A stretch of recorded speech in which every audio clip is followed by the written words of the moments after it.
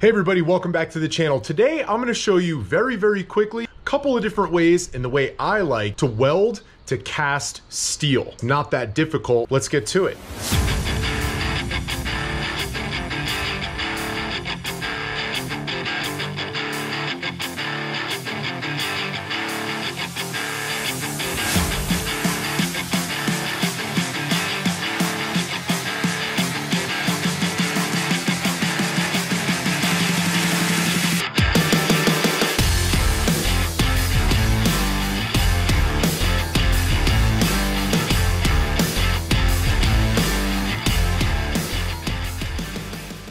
I just got home from picking up a nice set of 43 inch tires. And no, they're not going on that big, beautiful JKU out there. They're going on the Project Jeep Rock Gobbler that I have been building on this channel now for quite a bit of time. The frame is done. I've moved on with the axles. Semi-professional race car driver. But this Jeep is getting a V8. It's the fastest who gets paid, and it's the fastest who gets laid.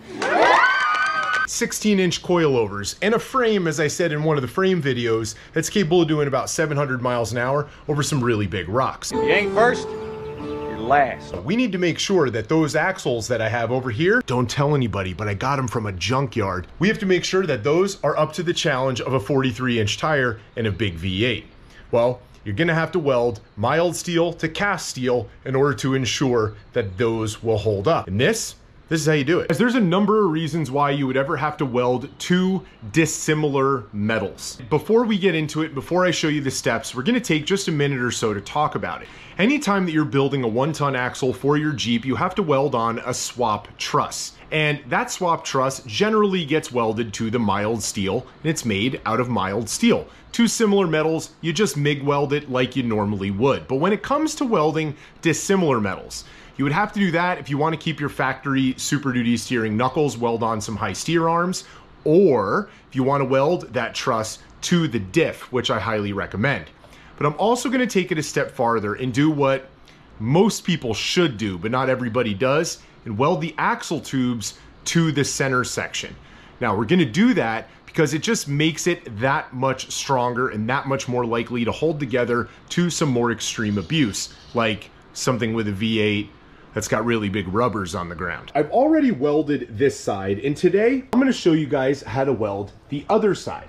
Now there is some debate online on whether the center section of a Super Duty Dana 60 is even made out of cast steel. This is the center section. This is what we're talking about. This is the piece that's in question because we know the axle tubes over here, over there, that's all made out of mild steel.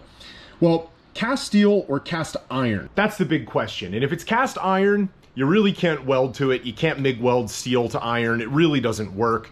But cast steel, you can actually weld to it. You just need a little bit of a different process because it heats and cools differently than mild steel and it'll pull on that weld and crack it. So you need to make sure that you're actually doing it correctly to get the proper penetration and make sure that weld lasts a good long time or forever. But the way you can check your diff, depending upon what axle you're working on, just to ensure that it's actually cast steel, is you do it with a small drill bit. What you'd want to do is actually come to an inconspicuous area, make sure it's nice and thick, and actually drill into it a little bit.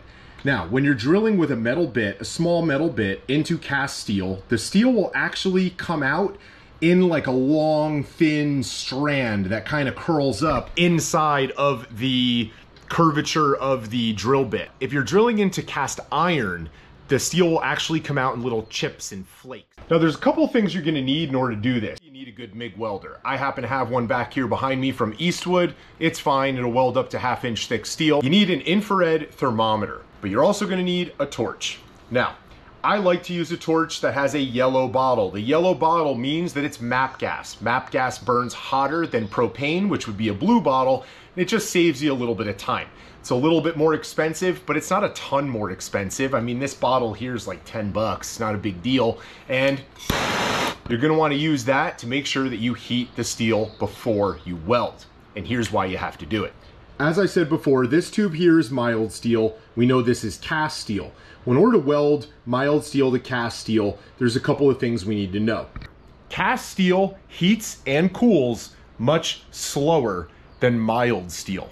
Okay, so what that means when we weld something to it is that if we're welding two similar metals together, they're both going to heat and cool at the exact same time. We have nothing to worry about. But when we attach two different metals together with a weld in the center, that means that one piece of steel on one side that's different, it's going to heat and cool at a slower rate than the other side, which means it's going to pull on the weld. And when it pulls on the weld, it can crack the weld. So we need to make sure that everything stays nice and warm and actually cools down together. That's where the torch comes in, or you can use a fiberglass welding blanket. On this side of the axle, I used that blanket right there. I heated it, I welded it, I wrapped it in the blanket, I left it overnight, and you saw the end result that I just showed you a minute ago. It came out just fine. But it takes time to be able to weld the entire thing, wrap it, and then wait till the next day to unwrap it. Sometimes we want to move through and do things a little bit faster. There's no need to spend all that time. You can do it a much faster way with that torch. So we're going to use the MAPP gas torch to preheat the cast, trying to keep it off of the mild steel as much as possible periodically stopping to check the temperature. As you can see here, it ain't quite there yet. So we're gonna use more MAPP gas, heat it a little bit more, constantly moving the MAPP gas around, making sure we don't overheat one area too much, and always make sure that when it gets close to temperature, your welder's ready to go so you don't waste any time and you take full advantage.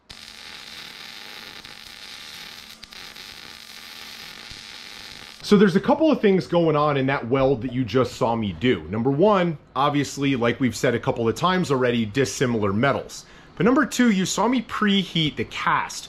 The reason for that is cast steel not only cools differently than mild steel, but it heats up differently. And heat is basically what's gonna give you your penetration in your weld. You're gonna get penetration in the mild steel because it heats up much faster than the cast. So you have to preheat the cast a little bit.